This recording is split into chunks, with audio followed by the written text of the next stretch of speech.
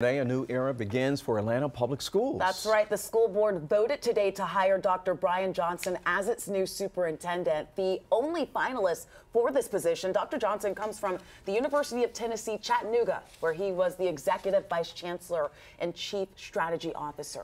He also headed up Hamilton County Schools as well.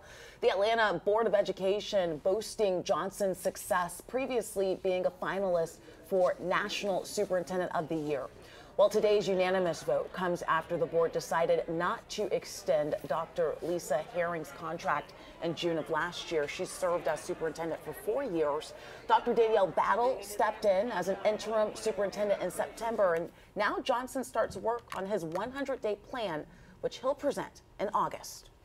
Uh, we'll continue to listen and, and learn, uh, but we'll dig into all areas of the organization. Uh, so everywhere from obviously academics, uh, operations, budget, HR, uh, we'll we'll lean in really deeply and understand uh, where the opportunities are. So anxious to get in schools.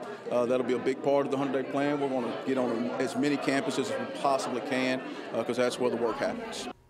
So next steps here, we know that Dr. Battle is expected to finish out her contract with runs until the end of the school year, or the end of the year rather, as a consultant to Johnson. Johnson will be sworn in August 5th.